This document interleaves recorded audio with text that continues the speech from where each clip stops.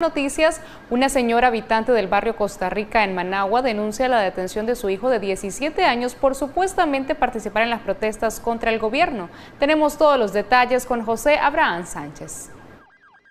Un menor de edad se sumó a la lista de más de 140 reos políticos. Se trata de Brian Steven Urbina, de 17 años, originario del barrio capitalino Costa Rica. Pese a los consejos de su progenitora, el menor estaba claro de su lucha contra el régimen Ortega Murillo. Es la segunda vez que lo detienen. Ellos lo agarraron del cuello, se lo llevaron y él me gritaba, mamá, mamá. Y eso yo me fui siguiéndolo, pero en ese momento se pusieron varios, varios policías con esos escudos que andan y no pude hacer pues nada por él, porque ahí nomasito nos comenzaron a empujar con esos escudos. Y luego me metí para adentro al cuarto en el cual ellos comenzaron a, darle vuelta a la cama, comenzaron a registrar, botaron la ropa de él, en eso agarraron la bandera que él tenía ahí.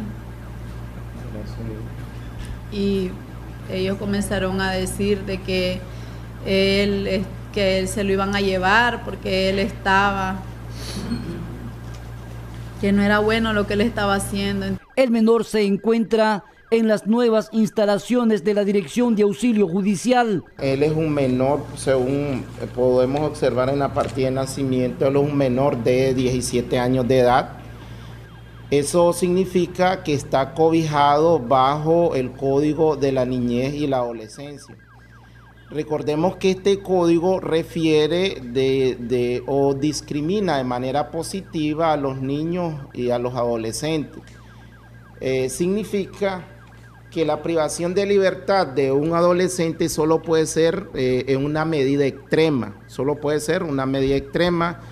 Este mismo código refiere que este, el joven solo puede estar privado de su libertad, reitero, cuando hay una situación extrema, y no más de 24 horas, ¿verdad? Y a más tardar esas 24 horas después tiene que estar ante un judicial competente, ¿verdad? Y estamos hablando de un juez de menor de pero como bien decía la mamá, el delito de Brian es protestar. Nosotros pues tenemos información que Brian pertenece a un grupo que se llama RPN, muy conocido, son jóvenes que ejercen resistencia cívica en contra de las autoridades, que protestan, que hacen piquete. Eh, nos decía también la mamá que este fin de semana estuvo en un piquete en, el Catedral o en, en una zona cercana.